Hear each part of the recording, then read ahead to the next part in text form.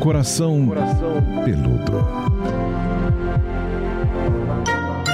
Olá, bem-vindos ao nosso podcast sobre relacionamento aqui do conteúdo Eva Jovem Pan. É o Coração Peludo com a nossa fada sensata cristal sem defeitos.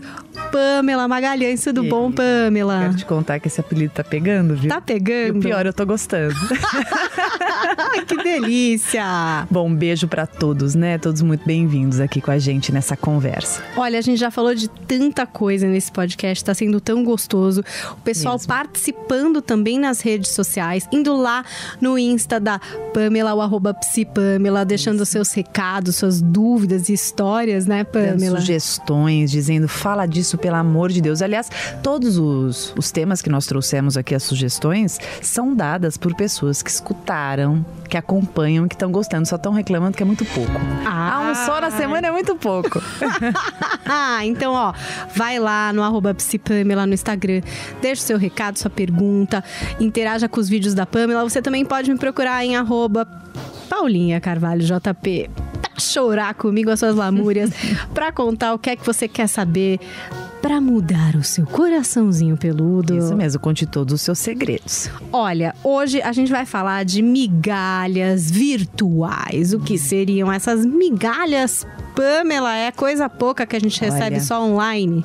Engraçado que agora com essas redes sociais, as pessoas elas entendem que as curtidas, as visualizações nos stories e um comentário já define o interesse da outra pessoa. Então assim, bom, curtiu. Duas fotos seguidas, pronto, me quer não sai dos top 5 do meu stories, com certeza tá na minha. Quando na verdade eu não sei o que a gente entende como estar na minha, né? Tem gente que tá ali sempre dando aquela regadinha para que você fique sempre ao alcance e não esqueça dela. E tem gente que não quer nada, nada com nada. Tá fazendo isso só porque vai no automático, sabe? Tá vendo história Dedo do nervoso. Outro, dedo nervoso. e claro que pode ser sim que a pessoa tem interesse. Eu acho que é importante que a gente analise o todo e não só isso. Só que eu vejo muitas pessoas se contentando com isso, inclusive pegando esses elementos como uma justificativa do interesse dessa pessoa. Olha, eu vou ler algumas participações do pessoal que me escreveu no Instagram. Por favor. O Vini Felipe diz o seguinte: Como eu sei se é uma migalha ou apenas o início de uma relação mais tímida?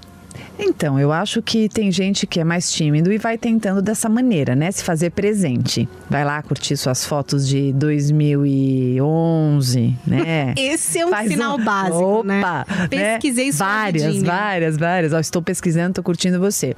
Eu acho que é um sinal, não deixa de ser. O problema não é você considerar o sinal, é, é considerar só este sinal. Se você quiser só olhar para isso e dar uma amaciada no teu ego, maravilha. Mas se você quiser algo mais, eu acho que é importante também é, estimular um pouquinho o outro e ver o que acontece. O que, que você recebe? Porque a gente quer mais, né, Paulinha, do que uma curtida de 2012 ou, ou então várias curtidas em 2019 visualizações frequentes no Stories. Eu acho que a gente quer ser chamado para sair, para um almoço, para jantar, tomar um café, dar uma volta. Tem uma hora que a gente quer o contato, é não é?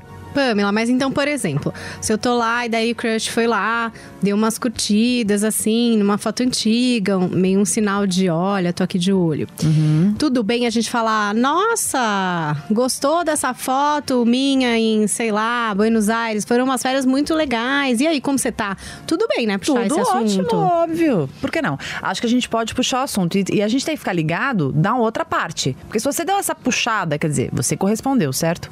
Se o outro não fizer mais nada, nada, aí você já coloca na tua cabeça, é fogo de palha. É, é, é o estilinho dessa pessoa. É, não fica se enganando. Ah, não, fez isso porque é tímido, porque está estudando a possibilidade, ah, porque está com depressão, está com ansiedade. Vamos, vamos parar de achar desculpa para ausência de movimento do outro que justifique a sua fixação nele. Entendi. Então, se teve esse início aí, um likezinho suspeito, uma quantidade de grande likes. E aí você fala, ah, oi, enfim. E aí tem que acontecer alguma coisa depois disso. Quem Isso. sabe vocês marcam de se encontrar. Perfeito. Ou uma conversa que migra para um WhatsApp, uma coisa assim é, maior. Você sabe que eu estava hoje conversando com uma paciente minha com a história dos aplicativos, que acho que é outro tema para a gente trazer aqui para falar, que é muito bom. É, as pessoas elas vão ficando num ritmo frenético, né? De dizer oi, tudo bem, oi, tudo bem, e dar, dar aquele, aquele crush lá, que dá, Match. enfim, o match, né? Diz, perdão, o match. E parece que elas se resumem a isso. Oi, tudo bem? Oi, tudo bem? Como de onde você é tal? E não evolui. Eu acho que o mesmo pode acontecer quando a gente está falando dessas curtidas, né? Então a pessoa vê, ah, achou que você tá bonita na foto, tal, dá uma curtida e parece que não vai além. Então, para quem quer algo a mais, para quem quer se comprometer, para quem quer ter um relacionamento, você dá um, você dá um outro passo, né, na tentativa de que vocês façam, façam esse jogo de frescobol. Caso isso não aconteça, eu acho que a gente tem que realizar e dar uma parada. Porque tem gente que fica nessa, Paulinha, semanas, meses, anos tá? Ah, não, mas eu não tiro ele da cabeça, eu não tiro ele da minha cabeça, eu não tiro ela da minha cabeça, porque ah, porque curte todas as minhas fotos, porque olha aqui, mostra, né? Olha, tá sempre vendo os meus stories. Ah, ó, aqui tá falando a Raquel também escreveu pra gente. Ele olha todos os meus Ah stories. Como desapegar do significado disso? Tem significado uma pessoa que fica acompanhando seus stories, tipo um programa de TV? Eu acho que existem pessoas que querem mais é, nos contemplar, né? Me veio aquela ideia do voyeur, né? Acho que tem mais isso do que de fato ter algo conosco. Sei lá, tem uma pessoa a pessoa pode ter medo, a pessoa pode estar comprometida, a pessoa pode estar indecisa, a pessoa pode estar lá curtindo você como curtiria uma revista. Né? Aí resta você se perguntar: quero isso, quero só isso, quero mais do que isso, quero também isso, para que nós, é, aos poucos, nos posicionemos de uma maneira que a gente também mostre para essa pessoa. Né? E olhar para isso e não projetar o que nós queremos, porque às vezes a gente olha alguma coisa. E se nós quisermos muito que aqueles nossos desejos sejam realizados e concretizados, eu posso olhar e falar: bom, tá vendo? Ó, me quer, tá vendo? Gosta de mim. E aí eu vou contando histórias para que eu continue nessa toada. A minha preocupação é a paralisação, Paulinha. A minha preocupação é a estagnação que a gente fica em alguns, alguns casos que não evoluem, entendeu? Que não tem esse desdobramento. Entendi. E Pamela, eu fico me perguntando da pessoa, você, se a, a gente, né? A gente, eu sempre tento inverter um pouco, porque tem essa sensação da pessoa que tá dando lá a nossa migalha e tal, e tem o que a gente também faz. Claro, Sem boa. pensar, Boa, né? Por boa. exemplo, ah, tá lá um ex que, meu, você nem quer nada, sei lá, tipo, você esqueceu, mas passa no seu feed, aí você fala, ai, vou dar um like aqui. Vou mexer aqui nesse vesperinho. Amei. Né?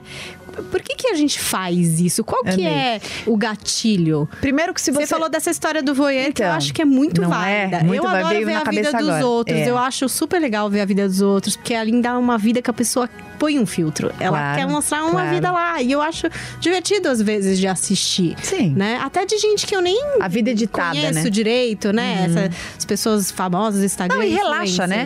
Tem um lance que relaxa, porque antes, né, é, nós somos aí da mesma época, a gente é da época da revista, que vê uma revista relaxava, né? Você vê um filme relaxa. Hoje, a vida das pessoas tornaram filmes, que você vai acompanhando, né? Que você vai vendo É, tá ali. fazendo uma viagem. Olha que bonito esse Isso. lugar, esse hotel. Que a gente meio que vai se realizando. Por isso que eu tô falando que cada cabeça é uma sentença, né? Então, de repente, alguém tá olhando lá a tua vida e tá projetando um monte de coisa e tá entendendo de acordo com o que quer, né? Dependendo de- do desajuste mental de cada um, enfim, das tendências psicóticas ou não. Mas você fez uma colocação que eu não quero perder, que é, eu não sei se você percebeu, mas da responsabilidade afetiva que se Exatamente. tem a partir do momento que você tá olhando um feed e que você vê de quem é a foto e se cabe curtir ou não.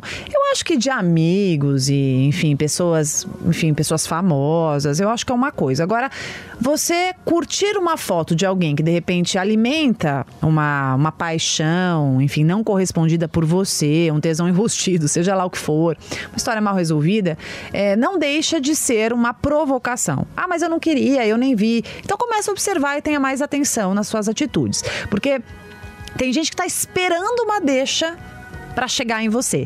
Né?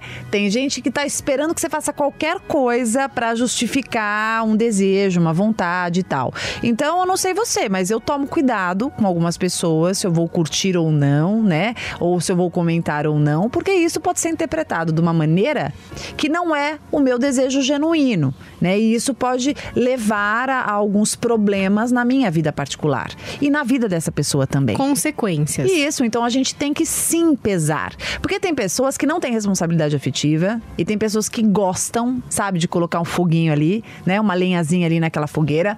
Tem gente que gosta daquela labareda, de dar uma reacendida na chama. Tem gente que não quer ser esquecida. Tem gente que quer sempre ser lembrado, ser desejado, sentir que de alguma forma não perdeu o, a ocupação do território. Então tá sempre lá fazendo um xixizinho naquele poste para dar uma demarcada. E a gente tem que perceber isso e não ser levado por qualquer, por qualquer curtida ou qualquer comentário que exista. Tem muita gente falando oi sumida, e aí você tá lá com aquela expectativa, responde. A pessoa simplesmente só quis saber se você ainda tava na dela, sabe? Se. É só um é, teste. Claro, mas tá cheio. Um, dois, três, testando. Vamos ver se ela ainda responde para mim. Olha, Paulinha, eu falo que a gente está na, na era da geração selfie, né? E a gente nunca teve tantas pessoas narcisistas. A gente nunca teve um narcisismo tão estimulado. A gente nunca teve é, essa vaidade em decorrência desse núcleo de carência tão inflamado como a gente tem hoje em dia. Então, a, as pessoas elas estão muito mais preocupadas em se sentirem amadas, pertencendo, é, em, em sentirem uma alimentar uma ilusão de uma posse sobre as outras do que qualquer outra coisa. Pamela, fiquei pensando aqui é, a ausência desse like a ausência da visualização. Pega. Né? Pega, Pega demais. Pega. As pessoas às vezes ficam, gente, como assim? Hoje não curtiu, não viu mais nossa, meu story, sumiu. Nossa. Mas por Desespero. um lado não é Desespero. bom, pensando assim, é, se a pessoa é realmente bom. não quer estar com você muito. e ela dá essa sumida, tipo, ela não vai lá te dar um like, ela não vai comentar o seu stories e nem assistir. É que para mim esse desfecho que você tá falando, eu como terapeuta, penso que para uma pessoa obsessiva, fixada, que tá ali com uma ideia fixa, é o ideal. O problema é que isso não acontece muito muito, né? O que a gente mais vê são pessoas alimentando, né? Então, assim, deixam de curtir muito tempo. Aí, quando vem que a pessoa tá desencanando, que tá tocando a própria vida, opa, dá aquela curtidinha para dar pra uma reacendida na chama. Então, assim, a minha preocupação maior, né, contando esse outro lado, são as pessoas se produzindo, são as pessoas vivendo as suas vidas e tirando fotos e fazendo, enfim, stories ou, ou querendo registrar coisas ou fazendo comentários para outras pessoas, justamente para impactarem este indivíduo que elas tenham, enfim, aí ainda uma história mal resolvida. Ah, é tipo uma produção Isso. do post para ver se chega lá. Pra você ter uma ideia, é, eu já atendi pessoas que estavam péssimas, numa depressão assim profunda, é, sem vontade de lavar o cabelo, tá? Mas é, do nada resolveram super se produzir, tá? Estavam péssimos embaixo do edredom até dado momento. Aí levantam, se arrumam, se maquiam, põem uma roupa maravilhosa e tiram uma foto toda glamourosa dizendo: ai, que lindo dia de sábado, melhor dia da minha vida, me sinto plena.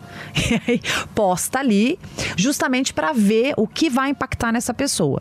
Então, se a pessoa curtiu, pronto, se realizam, né? Por um momento, assim. Eu falo que parece o efeito de uma droga, sabe? Tem um pico ali de, de, ai, de satisfação de conseguir o que eu queria, mas depois isso não leva a nada, então o vazio volta a acontecer. Ou então não tem essa curtida, né? Ou então não acontece o que desejava. Aí dá aquela angústia mais profunda ainda. Como e aquele. Eu, eu também tenho observado uma coisa que é tipo um sofrimento na vitrine também.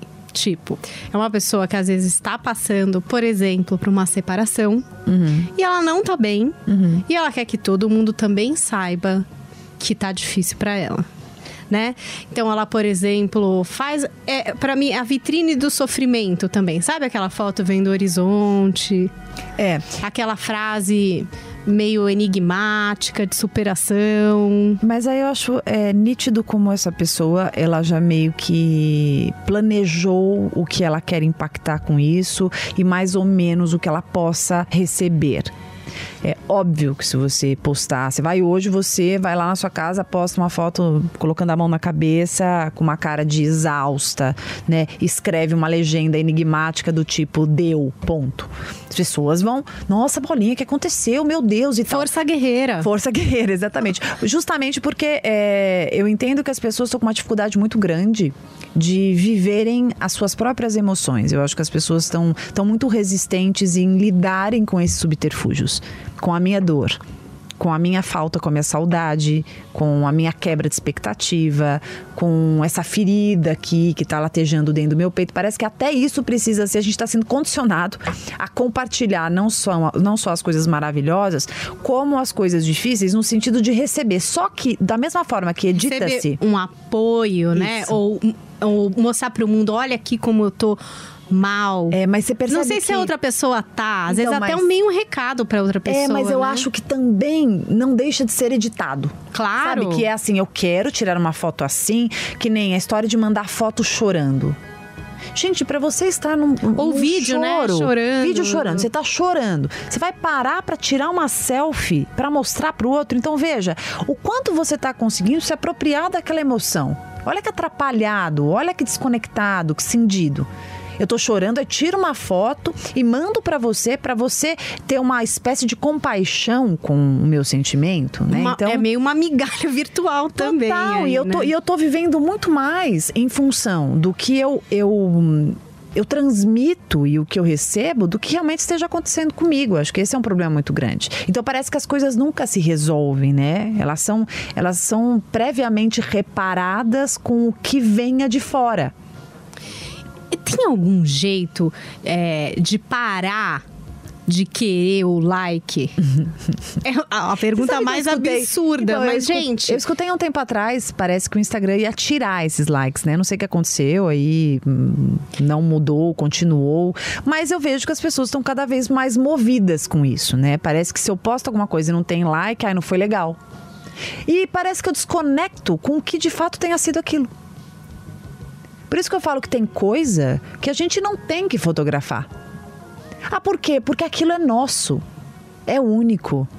Eu não sei você, mas eu acho que os instantes mais especiais da nossa vida, a gente nem lembrava de celular, de máquina fotográfica, qualquer coisa do tipo, né? Pamela, eu sou uma influencer péssima, porque se eu tô na bad, eu nunca vou lembrar de fazer um post nenhum, nem o enigmático, nem o do dia, nem o feliz, nem o do trabalho, porque não sei, eu não tenho energia quando eu tô mal, por Então, exemplo, então- né? Eu não vou fazer essa foto do choro, porque eu vou estar chorando de fato. Sim, da sua Tenho um, intensidade, da um sua certo verdade. orgulho disso. Claro, claro. Mas é uma coisa que as pessoas estão sentindo essa necessidade de compartilhar tudo e não, na verdade não viver e acho que não compartilhar de fato com quem tá do seu lado, né? Porque tudo bem, alguém pode te ajudar virtualmente com força guerreira, com, pô, tamo junto aí, mães que ficam acordadas na madrugada com o bebê, sei lá. Esses grupos de apoio, vai, digamos, pessoas que estão vivendo a mesma coisa que você que podem te trazer um alento, sei lá, tipo, não sou só eu, tem um monte de gente. Mas Então, é- virtualmente é muito isso me doido. parece muito doido. É muito Black Mirror. Muito Black Mirror, perfeito. É, é, você foi falando, eu fui pensando que a gente está vivendo uma fase que parece que para as coisas existirem, elas precisam ser compartilhadas, curtidas o suficiente para que sejam validadas. E aí eu fico pensando sobre o quanto nós estamos é, nos condicionando a ter que o tempo inteiro dividir o que nós experienciamos. Então, até que ponto eu consigo me apropriar por inteiro das minhas experiências? Até a palavra compartilhar, né? Eu tô sempre tirando um pedaço, eu tô sempre dividindo. E aí, Nossa, nunca tinha pensado por esse ponto Então, de vista. e Eu aí- pensava multiplicando, mas é Sim, verdade. mas é você tá compartilhando. compartilhando, você Eu tô não tá dividindo. vivendo exclusivamente, você tá Não. dividindo com os outros. Sim, e até que ponto isso não pode afetar a minha individualidade, a minha identidade, o meu todo? É muito louco, porque a gente fala tanto que, ah, não, não existe metade da laranja. Ah, são dois inteiros que se relacionam. Ah, como é importante que eu me integre. Ah, eu tenho que, eu tenho que ter amor próprio. Gente, se você pensar o amor próprio, ele acaba soando até como um paradoxo com a história de compartilhar tudo. Porque se eu divido tudo, se eu tô o tempo inteiro vivendo um momento legal eu tenho que tirar foto, ah, você faz uma viagem, tem gente que viaja, tudo que vê que é legal tem que fotografar. E tem coisa, gente, que nem show. Os shows hoje em dia as pessoas mais filmam, filmam mesmo, né? Do que vêm e sentem o show. Eu, graças a Deus, sou de uma geração em que não existia isso, e embora use muito profissionalmente, mas eu nos shows, a não ser uma foto em algum momento, eu quero ver. Eu fui no show do Bon Jovi, Paulinha. Eu, eu estava tão perto, né? Consegui... Você tava cantando. Não, menina, o que eu chorei de emoção. E se tivesse uma, uma máquina ali, um celular que fosse na frente, para mim seria, parece que uma barreira para aquela sensação. E isso é muito interessante para a gente usar na nossa vida. Tem momentos, né? Eu, eu me encontro com você, que é minha amiga, quero conversar, contar uma coisa. Não cabe aquela hora ficar falando no WhatsApp com outras pessoas ou fotografar aquilo. É um momento nosso.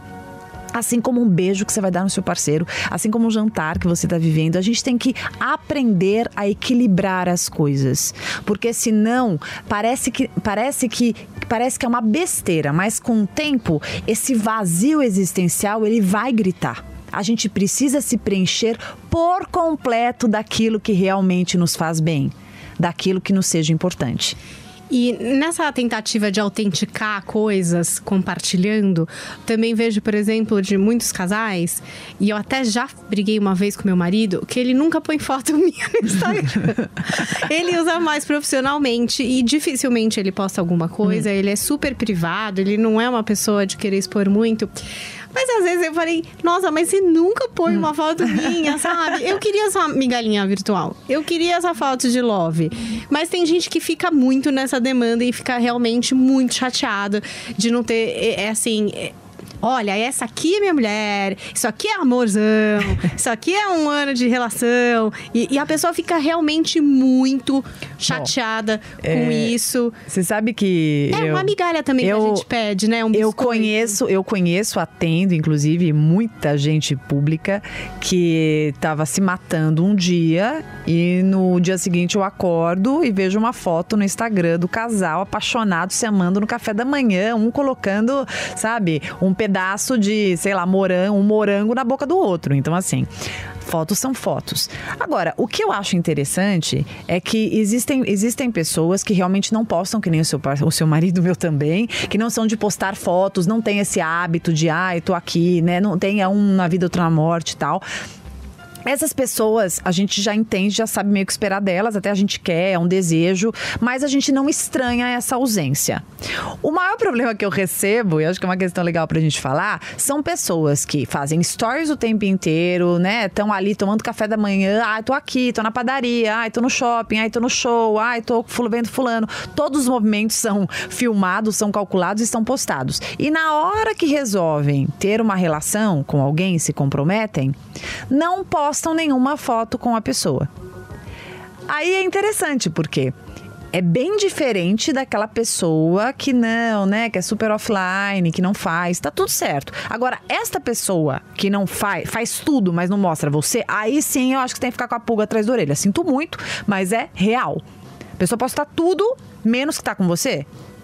Aí, ah, não, mas ah, eu quero preservar a nossa relação. Preservar o quê? A pessoa não se preserva, a pessoa se expõe o tempo inteiro, mas quando é para mostrar a foto da pessoa, ah, não. Então aí a gente tem que cair na real, que de fato, talvez não esteja com tanta certeza de assumir essa relação. E tudo bem, né? Mas vamos falar as realidades. Seja real, transparente. Não queira se queimar com os contatinhos. Tá cheio de gente que não quer se queimar com os contatinhos. Cheio. Ai, meu Deus, vou postar aqui, ferrou, né? Porque agora não vou poder mais ficar com aquele oi sumida. Não vou poder, ah, vamos, vamos se encontrar, tal, se esbarrar ali. Não dá para fazer. Então a gente tem que analisar quem de fato nunca posta nada, posta uma coisa na vida, outra na morte, e quem posta tudo só não posta que tá com você. E é muito ruim, né? Falar, ai, posso uma foto comigo?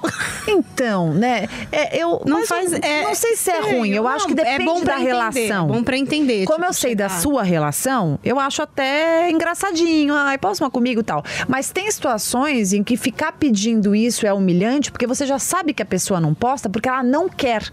Não é porque ela não posta mesmo dela, tá? É um jeito de ser. E aí dói muito, porque a sensação de rejeição é absurda, né? Bom, a pessoa não quer postar que tá comigo, a pessoa não tem tanta certeza, a pessoa. Porque tem gente que parece que quer esconder o outro. E o outro vai percebendo, né? Chega uma hora que, oi, né? Vai me assumir ou não vai me assumir? Pamela, você acha que tem gente que precisa, às vezes, fazer um detox? Detox Precisa do quê? apagar o Instagram ou sei lá, ficar um tempo sem, porque fica muito neurotizado com isso. Você acha que pode ser produtivo? Isso tem muito se falado a respeito de detox, de né, conectividade. A gente tá com esse problema de não conseguir desconectar, de estar o tempo inteiro recebendo é e-mail, é notícia, é alarme, é não sei o quê. Você acha que é válido isso? Faz algum sentido? Eu acho que tudo na vida tem que ter equilíbrio. Né? Eu falo por mim. Eu trabalho como você com as redes sociais. Se eu me deixar levar, eu não paro. É o tempo inteiro. É alguma pergunta, é algum comentário, é alguma postagem, né? A gente também quer ver, então. Então, se eu não parar, eu vou prejudicar a minha vida. Então, quem estiver escutando e percebe que está mais nas redes sociais do que na própria vida, então não tá dando mais atenção que dava pro parceiro. Fica o tempo inteiro. Tem casal que passa, por exemplo, chega do trabalho, um senta de um lado, um deita do outro e fica ali no celular e fica ali, né, conversando com mil pessoas, vendo mil atualizações. Quando vê, deu meia-noite, uma hora, tem que dormir e acabou. Cadê a intimidade?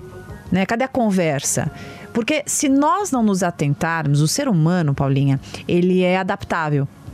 Nós somos por natureza, né? Isso desde, desde sempre. Nós nos adaptamos, nós nos acostumamos. Então a gente pode se condicionar, inclusive, a não conversar mais. Apenas Ai, ficar nas redes sociais. Então vamos cuidar disso, porque é importante falar, é importante o diálogo, é importante o toque, é importante o namorar é importante o sexo na, na relação do casal. Então, cuidado se você tiver excessivamente ali. Acho sim que vale a pena um detox. Ou pelo menos, se não um detox, se dá uma policiada, por exemplo. Ah, eu vou ficar, é, vou usar, por exemplo, três horinhas aqui, agora eu vou parar. A partir das oito horas não vou abrir o Instagram. É que nem um vício, né? Eu acho que tem pessoas que têm tendência ao vício e tem pessoas que conseguem administrar melhor. Pamela, o Francesco, Francesco maravilhoso, mandou pra gente uhum. uma pergunta que eu acho que até já sei a resposta, mas uhum. vamos lá. Tem a ver com essa história de conexão. E aí ela, ele diz o seguinte, que o companheiro dele criou novamente um perfil em rede de namoro e paquera. Ai, gente. Ai, meu Deus! E aí que ele, claro, tá super triste e não tá sabendo lidar com isso. Gente, Bom, mas. Vamos explicar para ele? O que, que, que, eu vou falar sobre isso? Muito sério, né, gente? Não, ele gente, tá procurando uma nem, outra não, pessoa. Não, não, peraí, Francesco. Não tá nem te dando migalha aí. Meu querido, né? Eu não sei qual é o acordo de vocês. Se não for um relacionamento aberto, então, não faz sentido algum você continuar nesse relacionamento. Eu sempre falo sobre os acordos. Eu não tenho nenhum tipo de pensamento quadrado. Eu não acho que o relacionamento tem que ser assim, tem que ser assado. Inclusive, a gente que trabalha com casal entende que cada casal tem uma forma de se relacionar. E quem olha de fora julga, critica, aponta, fala, acha que tem que aconselhar, quando na verdade é o casal que vai discernir o que é melhor. Só que todo casal tem que ter suas regras tem que ter os seus acordos. Se não for um relacionamento aberto para outras pessoas, eu acho que isso é uma baita de uma traição. Tá dado o recado, Francesco. Pelo amor de Deus. Até eu sabia essa resposta. aplicativo Mas de é relacionamento. triste, porque aí Ah. você quer viver com essa migalhinha que ele tá te dando de não sei o quê. Porque o cara tá dando match lá, sei lá. Desculpa, aí eu acho, eu acho que o tema não é nem migalhinha, é uma traição daquelas. O cara deve estar super frustrado, né? Eu acho que o Francisco está super chateado. E, por favor, reveja essa relação, converse com ele, tente entender o que é, enfim. Eu acho que então a gente pode fechar essa edição do Coração Peludo com umas dicas básicas. Aquele tipo top 10 de Vamos, Pamela para identificar a migalha e como parar de recebê-las. Não precisamos de migalhas, hein, pessoal? Migalhinhas. Vamos começar, minha gente. Migalhinha, você deixa pra pombinha, deixa pra formiga, tá? Você observe do que você realmente quer, precisa e merece. Não vá se contentar com uma mera curtida na sua foto, mesmo que essa foto esteja maravilhosa. Nem mesmo julgue a intenção e o interesse da pessoa, porque ela não perde um story seu.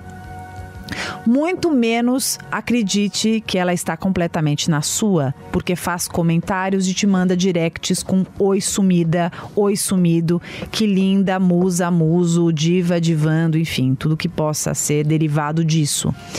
Ah, Pamela, não tem que considerar? Considere mas não é o suficiente. Você merece mais do que isso. Você merece que a pessoa te convide para sair, te chame para almoçar, para jantar, para se encontrar, para tomar um café, para chegar na tua casa e falar: "Desce, tô aqui".